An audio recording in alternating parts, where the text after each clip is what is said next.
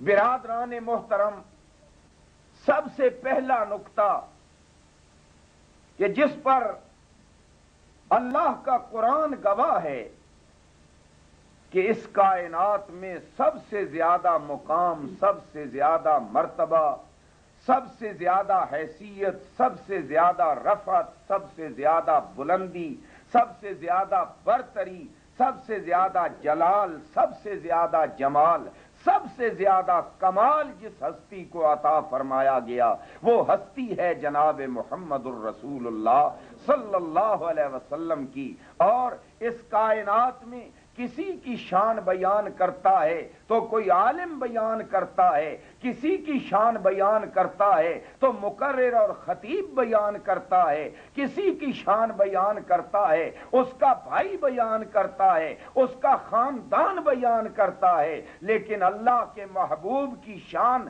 ایسی عظیم شان ہے، وہ شان بیان کرتا ہے تو عرش سے رب رحمان بیان کرتا ہے۔ اور خود قرآن اللہ کا، خدا کی کتاب اس شان کی گواہ بن گئی۔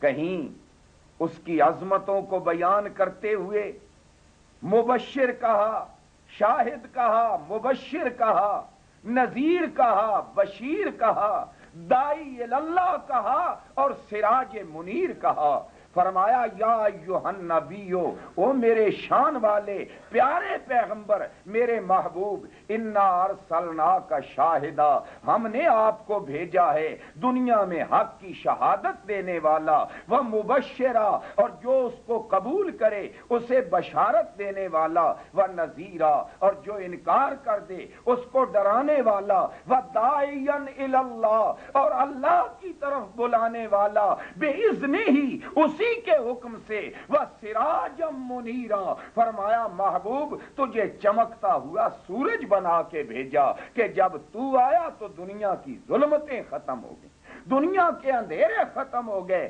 فرمایا، پھر یہ فرق ہے کہ جب یہ سورج چمکتا ہے یہ دنیا کا سورج جب چمکتا ہے تو اس کی کیفیت اور اس کی حالت یہ ہے کہ تہ خانوں اور اندھیرے کمروں میں پھر بھی اندھیرا رہتا ہے۔ لیکن جب نبوت والا سورج چمکا تو سب سے پہلے دل کی اندھیری کوٹھڑیوں کو آباد کر دیا کہ جہاں کلمے کا نور گیا وہاں روشنی ہی روشنی پھیل گئی۔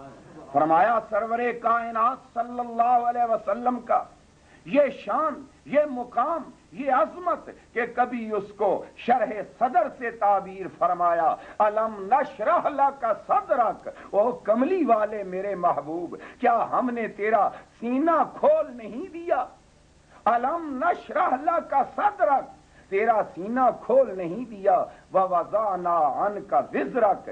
تیرے اوپر جو بوجھ تھے، کیا ہم نے اتار نہیں دیے؟ ورفانا لا کا ذکرک۔ کملی والے، کیا تیرے ذکر کو ہم نے بلند نہیں کر دی؟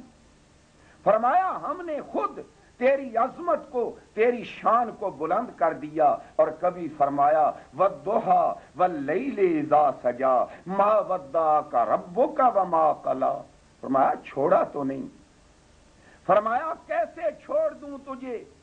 والا سوف یوتی کا ربو کا فتر تجھے اللہ وہ مقام دے گا کہ تو راضی ہو جائے گا۔ اور اس کے بعد علم یجد کا یتیم انفاوا میرے محبوب، میری شانت دے، میری عظمت تو دے کہ تجھے جب میں نے چنا، کسی بادشاہ کو نہیں۔ کسی راجے اور مہاراجے کو نہیں، کسی شہنشاہ کو نہیں اور کسی دنیا کے دنیا دار انسان کو نہیں۔ سبحان اللہ، یہ میری شان تھی۔ علم یجد کا یتیم انفاوا مکے کی گلیوں میں یتیم پایا اور عرشوں کا مہمان بنا۔